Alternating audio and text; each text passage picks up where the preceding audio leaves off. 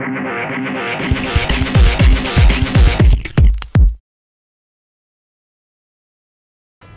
I'm Patrick Olsen, Suburban Dad for Cars.com, and today we're going to talk about a car that regular readers know that I love. We're talking about the Mini Cooper.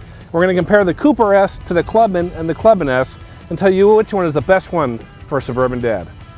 So I know what you're thinking. Mini Cooper is a family car? I don't think so, but it's not that bad.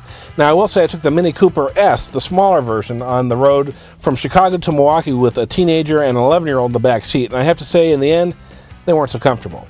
But I took the Clubman, which has two and a half, three inches more in the back seat. We took another couple out to dinner with us for a decent length ride, and everyone was quite comfortable. So cargo, believe it or not, is not really a problem, especially in the Clubman.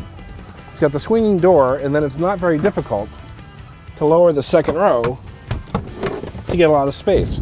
If you're like me, this would be your second car, which you use to get to the train station or for little errands. And so this much cargo space can be pretty useful. When you're talking about the Cooper, of course, the crux of the matter is how does it drive? And for me, the clear winner between the three is the Clubman S. Now, the regular Cooper S is a blast. It's a lot of fun to drive, but that lack of room in the back seat is really a hindrance, especially if you want to use it as a family car in some way at all.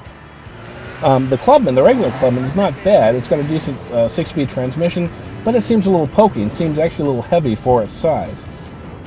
So finally, I drove the Clubman S with a uh, Shifttronic, and that was a lot of fun. It gave me all the power I needed, and I never felt underpowered. And being able to shift when I wanted to gave me all the control I needed.